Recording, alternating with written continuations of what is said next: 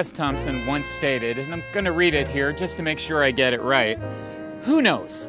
If there is indeed, in fact, a heaven and a hell, all we know for sure is that hell will be a viciously overcrowded version of Phoenix, a clean, well lighted place full of sunshine and bromides and fast cars, where almost everybody seems vaguely happy, except for those who in their hearts know what is missing.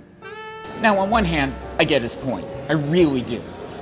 And on the other hand, I'd like to take his ashes, mold them into a life size bust, and smack him upside the head with his own cattle prod.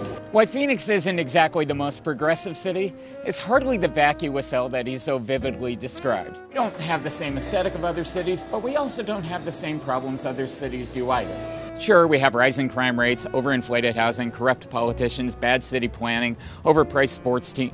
You know, actually, come to think of it, it's exactly like all the other major cities. So, why does the other metropolitan centers get a hall pass while Phoenix has to take the hit?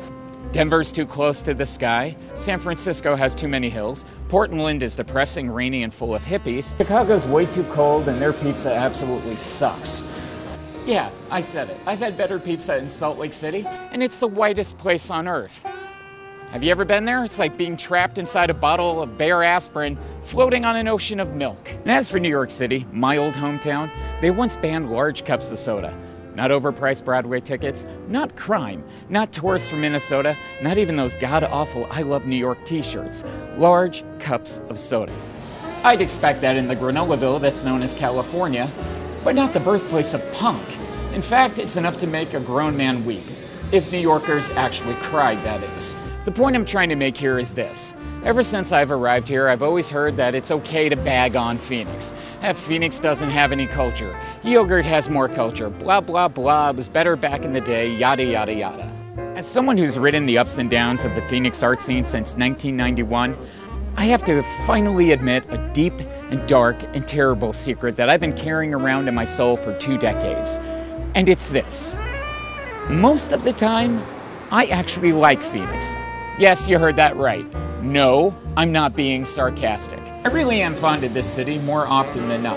Granted, it's always been a complex relationship if I were to be brutally honest. Let me put it this way Phoenix is a lot like, well, your ex fiancee. She could be a great singer if she would just lay off the whiskey and the cigarettes, but you still love her nonetheless. Someone wiser than me once said, Lost causes are the only causes worth fighting for. The rest are overstocked with help. Do I regard Phoenix as a lost cause? Overall, no. But I do know that this city is far from its potential of what it should be and what it could be.